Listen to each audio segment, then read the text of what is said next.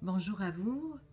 Euh, je voulais vous remercier de tout mon cœur pour votre grande participation dans les 21 jours de méditation pour la paix.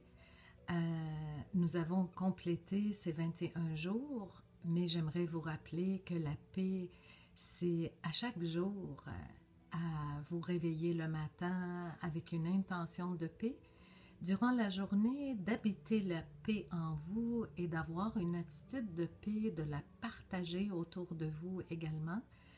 Et le soir, avant de vous coucher, de faire un retour sur votre journée et de voir s'il y a des espaces que vous avez besoin d'aller ajuster pour être complètement dans la paix et de rendre grâce à cette journée que vous venez de passer.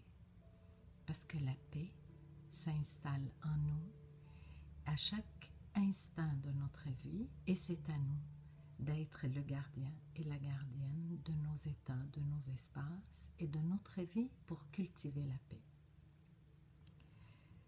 Alors je vous souhaite une journée remplie de douceur et que la paix soit avec vous. Namaste.